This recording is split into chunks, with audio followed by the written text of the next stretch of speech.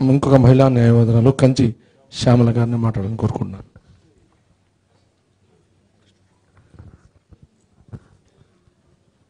ఇక్కడికి విచ్చేసిన జన సైనికులకు అలాగే జనసేనానికి అందరికీ పేరు పేరున నమస్కారం తెలియజేస్తున్నాను. అలాగే న్యాయవాది అందరికీ నా న్యాయవాద దినోత్సవ శుభాకాంక్షలు. ప్రతి ఒక్కరి సమస్య వింటున్న జనసేన పార్టీ తను సంస్థాగతంగా బాగుపడాలనే ఉద్దేశంతో నేను కొన్ని చెప్తున్నాను. యాజ్ ఏ అడ్వకేట్గా మా సర్వీసెస్ని మీరు ఎలా యూటిలైజ్ చేసుకోవాలి అనే విధంగా నేను చెప్తున్నానండి. ఏంటంటే ప్రతిసారి ఏది జరిగినా కూడా మా వరకు ఇన్ఫర్మేషన్ ఈ ఏరియాలో ఏదన్నా జరిగింది అనుకోండి జనసేన కార్యకర్తకి ఒక ప్రాబ్లం వచ్చింది. ఆ ప్రాబ్లంని మేము సాల్వ్ చేయాలంటే అది ఎలా చేయాలనేది మాకు తెలియట్లేదు. ఫస్ట్ ఆఫ్ ఆల్ ఏంటంటే ఒక ఎఫ్ఐఆర్ రిజిస్టర్ చేశారండి. ఆ ఎఫ్ఐఆర్ కాపీ మాకు అందట్లేదు. అది ఎవరు పంపుతారో తెలియదు ఎవరి నుంచి మాకు సమాచారం వస్తుందో తెలియట్లేదు. ఇలా ప్రతి ఒక్కటిలో ఎందుకంటే మొన్న సోషల్ మీడియా దీంట్లో ఒకరు పోస్ట్ చేస్తే దాని మీద కేసు అయింది కడపకు తీసుకొచ్చారు. తీసుకొచ్చారు. బట్ ఆ రోజు పండగ నాకు ఫోన్ చేశారు. ఫ్రైడే ఈవినింగ్ ఫోర్ ఓ క్లాక్కి ఫోన్ చేశారు. ఫోన్ చేసి చెప్పడం ఏంటంటే ఒక వ్యక్తి హరి అని అతన్ని తీసుకొని వస్తున్నారు. మీరు బెయిల్ అరేంజ్ చేయాలి. అది ఏంటి? ఎఫ్ఐఆర్ తెలియదు క్రైమ్ నెంబర్ తెలియదు అసలు సంస్థాగతంగా మనకి మెయిన్ మనం స్ట్రెంగ్తన్గా ఉంటే అందరికి సర్వీస్ చేయగలుగుతాము. ఆ సర్వీస్ చేయడానికి మాకు లేదు. మేము మీకోసం ప్రాణం ఇచ్చే వాళ్ళు ఉన్నారు. ఎయిమ్లెస్గా ఉన్నారు. ప్రతి ఒక్క జైన సైనికుడు ప్రాణం ఇవ్వగలుగుతాడు. కానీ వాళ్ళని మీరు జనసైన్య జన సైన్య మన జనసేనాన్ని యూజ్ చేసి దానిని వాళ్ళకి దిశానిర్దేశం చెయ్యాలి. ఇలా చేయండి ప్రతి ఒక్కరు లోయర్ క్యాడర్ నుంచి మీకు నేమ్స్ వాళ్ళ ఫోన్ నెంబర్లు మీ దగ్గర ఉండాలి. ప్రతి ఒక్కరిని ఐడెంటిఫై చేయగలగాలి మీరు. మేము పోయి ఒకరి దగ్గరికి పోయి మాకు అపాయింట్మెంట్ ఇవ్వండి. వాళ్ళని చూడాలి. మా సమస్య చెప్పుకోవాలి. అది కాదు. ప్రతి ఒక్క వింగ్ నెంబర్లు ప్రతి ఒక్కరి దగ్గర ఉండాలి. ఒక అయస్కాంతాన్ని ముక్కలు చేస్తే రెండు వైపులా మళ్ళీ అయస్కాంతంగా ఏర్పడుతుంది. ఉత్తర దక్షిణ ధృవాలు రెండు ఉంటాయి. అలాగే ప్రతి ఒక్కరూ జనసేనాని నోటి నుంచి వచ్చిన మాటలాగే ఉండాలి. అంతే వాల్యుబుల్గా మాట్లాడాలి. ఆ రోజు కడపలో నుంచి హరి అనే అబ్బాయి పాపం షూరిటీ వచ్చాడు. కానీ అతనికి తెలియదు ఏం చేయాలో తెలీదు. ఎవరిని డైర్ అబ్బాయి అండి. లేమ్మా. పాపం తను కాగితాలు తీసుకొచ్చాడు. ఏం చేయాలో తెలియదు ఎవరిని అడగాలో తెలియదు సాయంత్రం పొద్దుపోతుంది కోర్టులో ప్రొడ్యూస్ చేస్తారు. మాకు ఎఫ్ఐఆర్ తెలియదు క్రైమ్ నెంబర్ తెలియదు ఫోన్ చేస్తారు. మేడం అయిపోయింది. హైకోర్టు నుంచి ఆర్డర్ తెచ్చామంటారు. ఏం చేస్తే అందరికీ ఫోన్ చేశాను. ఎవరు అక్కడ కంటెస్ట్ చేసిన క్యాండిడేట్స్కి కి ఫోన్ చేశాను. ఫోన్ లిఫ్ట్ చేయరు. సమాధానం ఉండదు. అది కాదండి. మనం సంస్థాగతంగా మనం స్ట్రెంగ్తన్గా ఉంటే ప్రతి సమస్య మీద మనం పోరాడగలం. కానీ మనం స్ట్రెంగ్తన్ కావట్లేదు. ఎందుకంటే ఒక్కరి దగ్గర కూడా నేను అదే చెప్తున్నాను ప్రతి వింగ్ ఇప్పుడు అడ్వకేట్ వింగ్ అన్నారా? డాక్టర్స్ వింగ్ అన్నారా? వాళ్ళ నెంబర్లంతా మాకు ఇవ్వండి. ఇప్పుడు ఒక జన సైనికుడు ప్రాబ్లం ఫేస్ చేస్తున్నాడు. మేము వెళ్ళి సహాయం చేస్తాం. లేడీస్గా మేము అందరూ చెప్తున్నాం. అడ్వకేట్స్గా చెప్తున్నాం. మేము ఒక అందరికి ఎదురుపోయి మేము మాట్లాడగలం. చేస్తాం. ప్రతి ఒక్క అడ్వకేటు మాట్లాడాలంటే భయపడుతున్నారు. మేము చేస్తాం.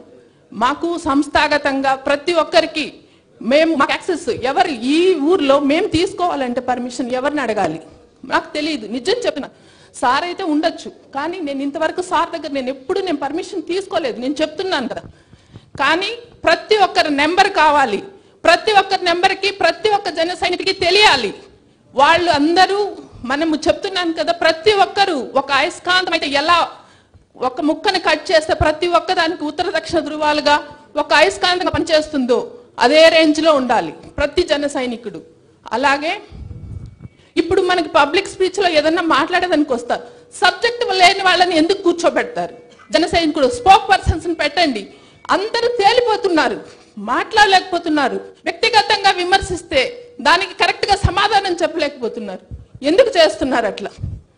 పార్టీని బలోపేతం చేయడానికి పోయి రాను రాను దిగజారిపోతుంది. ఏ రోజు మనము మొదట్లో ఎట్లున్నామో నిన్నటికి నేను చూస్తున్నాను. వచ్చిన వాళ్ళంతా పాపం వెనక్కి తిరిగిపోతున్నారు. మీరు బయట వెళ్ళండి.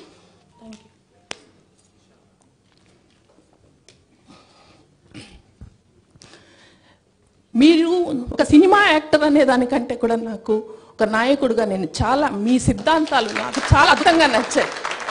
నన్ను నేను చూసుకుంటున్నట్టుంది అక్కడ నిజం చెప్తున్నాను. అలా అనిపించి నేను మీకు సపోర్ట్ చేస్తున్నాను.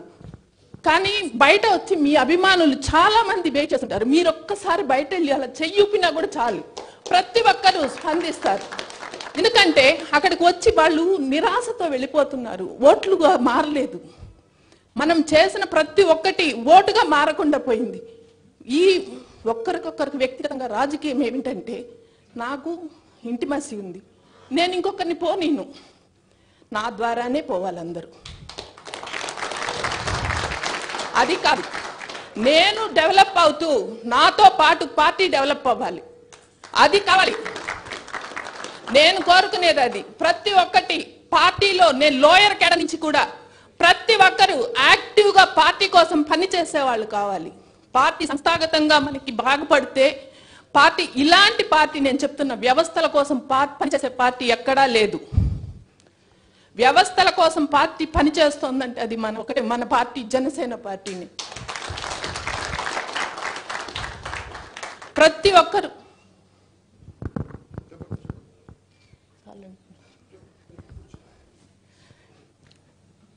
వ్యవస్థలు బాగుపడాలనే ఉద్దేశంతో మన గవర్నమెంట్ హాస్పిటల్స్ కానీ మన విద్యా వ్యవస్థని విద్యా వ్యవస్థ ఒక విషయం. ఇదేంటంటే మనం ఇంగ్లీష్ వద్దనట్లేదు. ప్రతి ఒక్కరికి ఎలా పోతుందంటే క్లాసులు క్లాస్ ఇప్పుడు పది క్లాసులు ఒక సెక్షన్లు జరుగుతుంటే ఒక సెక్షన్ తెలుగు సెక్షన్ పెట్టండి.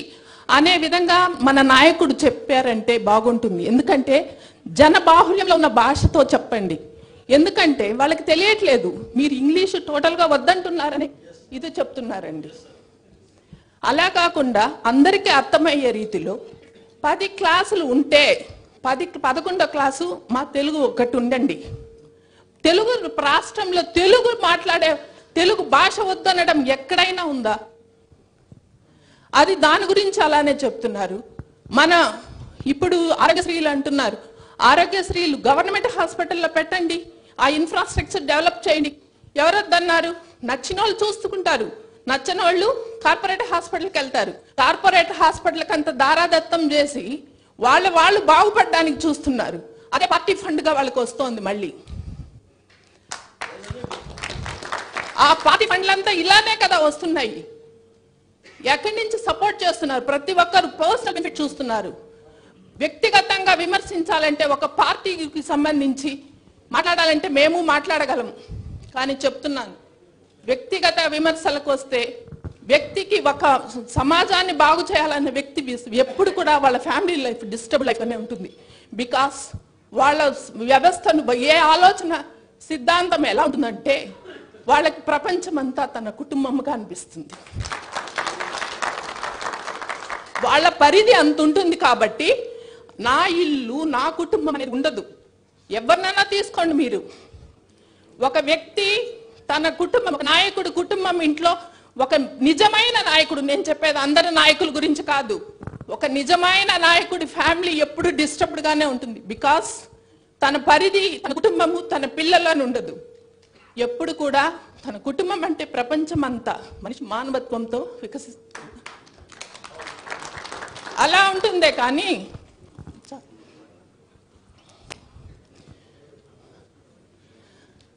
అలా మా- మాకు పార్టీని మా క్యాడర్ని డెవలప్ చేయమని నేను కోరుకుంటున్నానండి. నేను చెప్పేది ఏంటంటే ప్రతి ఒక్క నేను ప్రతి ఒక్క వింగ్కి నేను చెప్తున్నా ఇప్పుడు ఆ మీరు తీసుకుంటున్నారు నేను తీసుకుంటున్నారు నెంబర్స్ తీసుకుంటున్నారు.